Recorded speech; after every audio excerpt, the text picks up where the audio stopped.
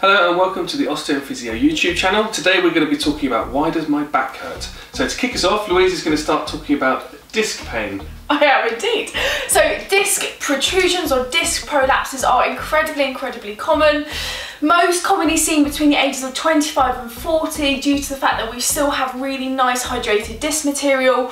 On a protruded disc, i.e. the inner part of the disc is still contained within the annulus fibrosus, what people typically present with is that kind of flexed position, that really sore antalgic posture, lots of muscle guarding and not necessarily experiencing nerve pain down into the leg.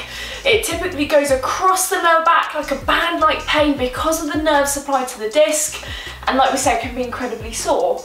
What we would look at as osteopaths is relaxing around the area, getting it moving, looking at any other triggers that might be aggravating the pain, i.e. sitting or flexing, and trying to improve overall mechanics into the lower back and pelvis.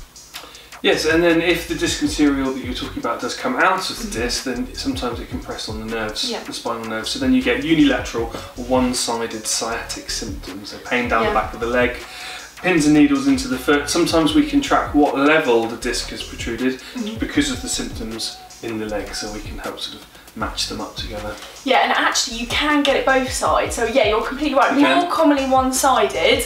It actually depends on where and how the disc has, has prolapsed. So if it's most commonly going posterior and lateral, so back and outwards, more commonly one-sided. If it's a central disc prolapse, you can experience it through both sides. And that is why when we do a consultation, we're so, so, so detailed in terms of any concerning symptoms, for example, bowel or bladder changes, any numbness, and we want to know and track the neurological symptoms, so any weakness that's, that's flagged up with it, any kind of radicular symptoms, so i.e. any sensation changes like you said, and checking how it is, because if anything's incredibly complex, of course we would refer on if the symptoms are concerning. If not, we would want to be tracking it over time and keeping the body moving.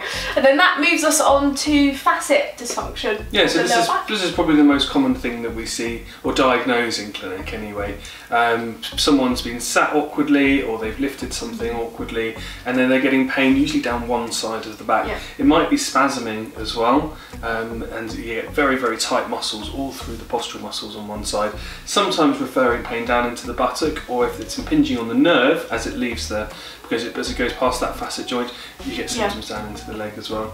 Yeah. Usually a much faster recovery than a, than a disc injury. Oh yeah. Um, and much easier to manage, but still extremely painful and uncomfortable. Yeah, and you normally find on testing, depending on which side, obviously the facet joint's being aggravated, whether it's locked in a position or the capsule around the joint has got very, very sore and inflamed, you normally find on testing, if you load the joints together, so sometimes extending and going over to one side can be more painful or like you said if it's spasmed and locked in a position what you can find is it coming away from that position where it's actually relatively comfy and wants to stay can be really really sore. So we would look at softening mobilization articulation you know really moving around the area to get it completely relaxed. So for us as osteopaths it's all about how can we regain that lovely lordotic curve so that lovely extension curve in the lower back keep the person moving and obviously prevent it from happening again. Absolutely, yes. And I think the other one we want to cover is DDD, so if you want to break that down. Yeah, so la later on in life, when you've had a bit of wear and tear in the back, perhaps you've had some disc prolapses in the past, um, your discs are a little bit dehydrated. Mm -hmm. What can happen is everything starts to squash down a little bit. The vertebra get closer together, the joints get more loaded, and this whole process we call uh, degenerative disc disease. Yeah. It sounds horrendous, but basically most of the time it just means wear and tear.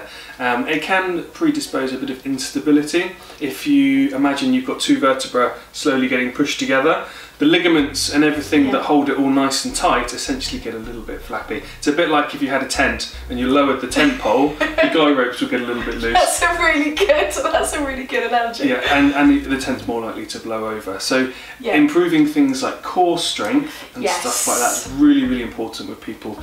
Most of the time over 50, 60 mm-hmm. into 70s who've got this degree of instability. And what they'll probably find is that at least once or twice a year, their back will go into the spasm. They've overdone it, they've weakened yeah. their core perhaps by doing too much, and then they get this spasm and um, then they come and see us. But it's a it's a chronic, ongoing thing. This DDD.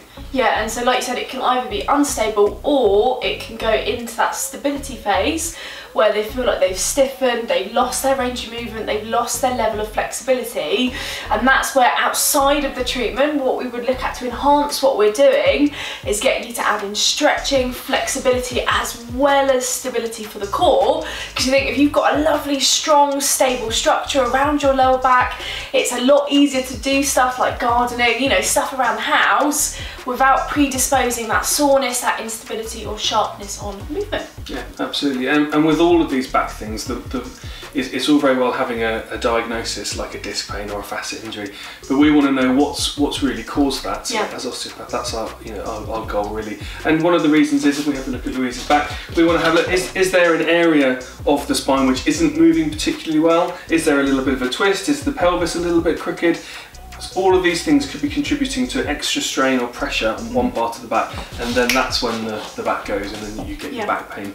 So that's that's yeah what we're trying to achieve, isn't it? Chief 360 health.